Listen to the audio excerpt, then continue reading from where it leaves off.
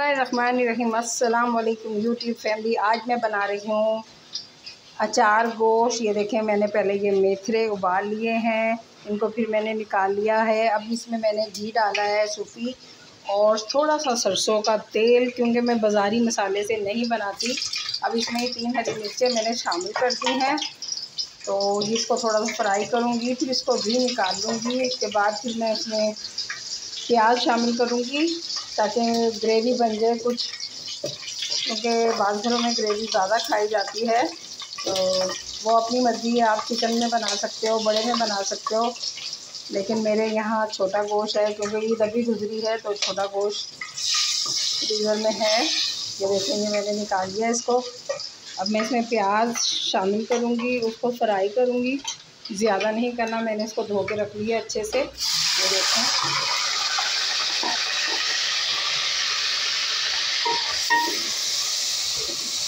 और माशाल्लाह इतना मज़े का बनेगा कि आपको ज़रूर पसंद आएगा और आप बनाना पसंद करोगे।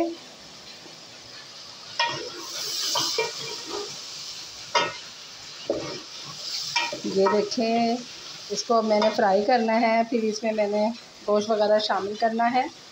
सारे मसाले वगैरह इसमें शामिल करती हूँ। आपको पूरी रेसिपी मैं आपको दिखाऊँगी। आप मेरे चैनल को लाइक करें, सब्सक्राइब करें अच्छे अच्छे से कमेंट्स करें। ये देखिए, मेरी प्याज सॉफ्ट हो गई है। अब मैं इसमें गोश्त शामिल करूँगी। ये मैंने धोकर रखा था, तकरीबन तीन पाव के करीब गोश्त है। तो ये मैं इसमें शामिल कर रही हूँ। अच्छे से धो लिया है मैंने इसको, पहले से ही। आप मेरे चैनल को लाजमी सब्सक्राइब किया करें, लाइक किया करें। मैं भी न्यू हूँ और अल्लाह ताला से दुआ करें कि अल्लाह ताला आप लोगों की तरह मुझे भी कामयाब करें। आमीन।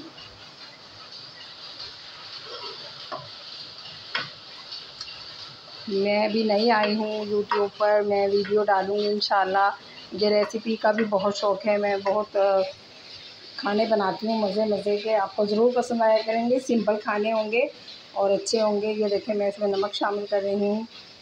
तकरीबन अभी मैंने एक चम्मच शामिल किया है, फिर आप अपने जायके के मुताबिक डालें। क्योंकि कुछ लोग तेज़ खाते हैं, कुछ लाइट खाते हैं। ये हल्दी शामिल की। ये मिर्ची शामिल ठीक है, इसमें टमाटर वगैरह नहीं शामिल होगा। ये चीज़ें, अब इसके बाद मैं इसको ज़रा फ्राई कर लेती हूँ अच्छी तरह। तो ये देखें, अब इसमें मैं शामिल कर रही हूँ लहसुन अदरक का पेस्ट। देखें, फिर जो मैंने मेथरे उबाल कर रखे हुए थे, वो और फिर इसमें मैं शामिल करूँगी दही। और कलौजी फिर मैं इसमें इतना पानी शामिल करूँगी कि गोश्त अच्छे से गल जाए। फिर जब अचार गोश्त तैयार होगा, मैं आपको ज़रूर दिखाऊँगी इन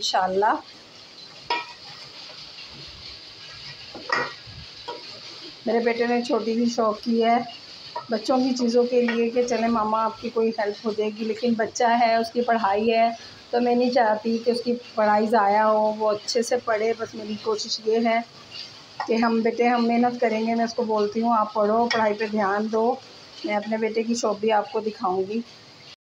ये देखिए, इसमें मैंने पानी शामिल कर दिया है कि गोश्त अच्छे से गल जाए तो इन ये पकेगा। फिर मैंने इसमें दही भी शामिल कर दी है, कलौजी भी शामिल कर दी है। जब ये रेडी हो जाएगा, बिल्कुल रेडी हो जाएगा, इसकी बुनाई हो जाएगी अच्छे से। फिर मैं इसमें जो हरी मिर्चें मैंने ये वाली फ्राई की थी तो ये मैं इसमें शामिल कर दूँगी।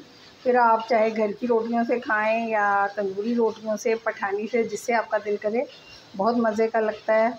आज मेरे बेटे ने फरमाइश की थी तो मैंने इसलिए बनाया वीडियो मेरी पूरी देखिएगा। पूरी वाच करने का मतलब ये होता है कि आपको हर बात की समझ आ जाए कि कैसे बनाया है, क्या ये रेसिपी है, आपको अच्छी ज़रूर लगेगी इन जब ये तैयार होगा, फिर मिलते हैं। ये देखिए मैं अब इसकी भुनाई कर रही हूँ, ये तैयार हो चुका है। अब मैं इसमें जो हरी मिर्चें मैंने फ्राई की थी, वो इसमें शामिल कर लूँगी और गरम मसाला लगाऊँगी, हरा धनिया डालूँगी, फिर ये तैयार है खाने के लिए। जिस जिसने खाना है, मेरे चैनल पे मेरी मेरे ब्लॉग पर आए और ये खाए। ये देखें मैंने मिर्चें इसमें शामिल कर दी हैं। क्योंकि अगर हमें किसी को सर्व करना है तो फिर हम बोल में जब किसी को सर्व करते हैं तो उसमें डाल कर देते हैं तो फिर हम ऊपर से रख देते हैं। हरा धनिया वगैरह भी हम फिर शामिल कर देते हैं उसमें। तो बहुत अच्छा लगता है, बहुत मज़े का लगता है। आप मेरे चैनल को लाइक करें, सब्सक्राइब करें अच्छे अच्छे प्यारे प्यारे से कमेंट्स करें और अल्लाह ताला से दुआ करें, जैसे आप लोग कामयाब हैं, अल्लाह मुझे भी कामयाब करे, आमीन। और आपकी वजह से ही मुझे कामयाब होना है, क्योंकि हम लोग एक दूसरे की सपोर्ट करेंगे तो इन ज़रूर कामयाब होंगे और मेहनत से ही कामयाब होना है सबने अपनी अपनी मेहनत से। तो अल्लाह ताला आपके साथ साथ मुझे भी कामयाब करे, जी, आमीन।